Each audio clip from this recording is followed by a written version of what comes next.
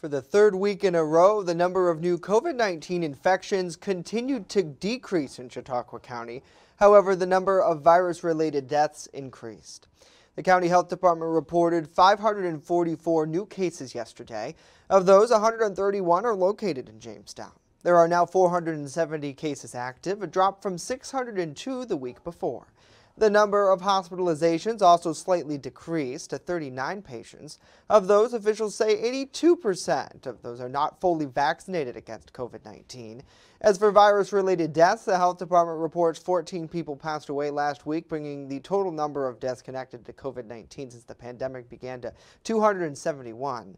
To date, there have been over 18,000 recorded cases of COVID-19 in Chautauqua County, with 17,000 of them recovering.